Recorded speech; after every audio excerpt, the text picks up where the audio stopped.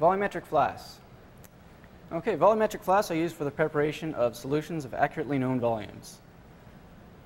So in this case, we are uh, diluting this sample that we previously pipetted with distilled water.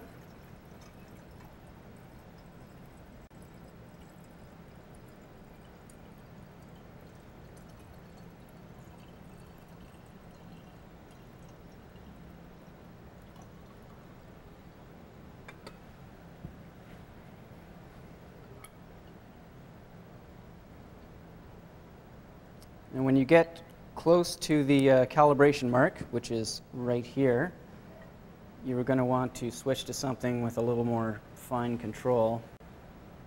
So we'll use a pasteur pipette for that, and you can just add it dropwise to get up to the line. Make sure that you uh, watch that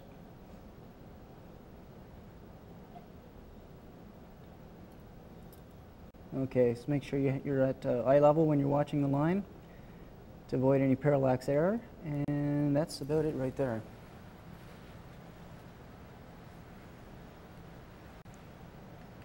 Okay, so after you've made up the solution, put the cap on firmly.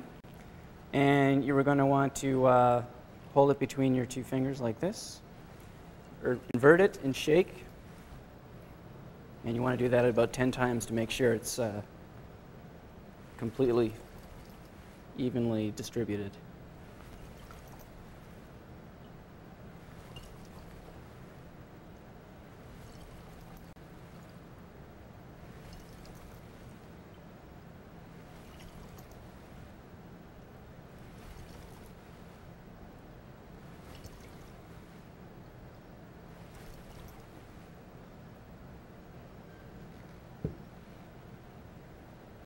Okay, and that's it for volumetric flasks.